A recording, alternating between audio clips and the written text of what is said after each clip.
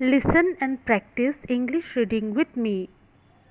When I learned that my 70 year old mother was playing Scrabble against herself, I knew I had to do something. Who is playing? I asked one day when I saw a half finished game on the table.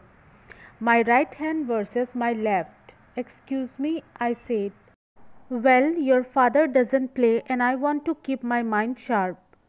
An admirable pursuit, but I questioned whether my mother's solitary version of Scrabble would achieve that goal.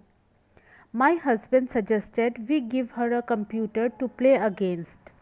I wasn't sure my mother was ready for a cyber Scrabble. It had taken 15 years to persuade her to buy a microwave.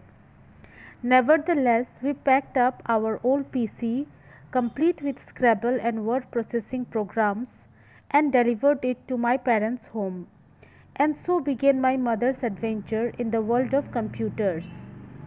It also marked the beginning of an unusual teaching assignment for me. I have taught children and adults of all ages but never thought I would be teaching my mother to do anything. Despite the look of horror on her face when she first saw our gift, my mother was eager to get started.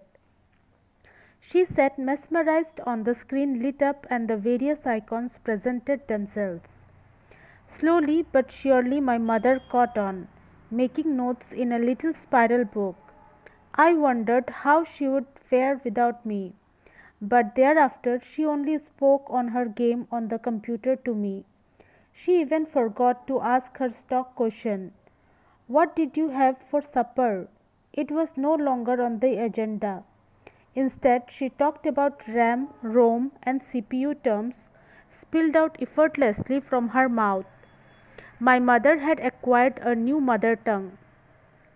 After a lifetime of being her child, I was finally the one with knowledge to share with my mom. But even now, I realize she continues to teach me. I am learning that no matter how old you are, a willing spirit is capable of anything.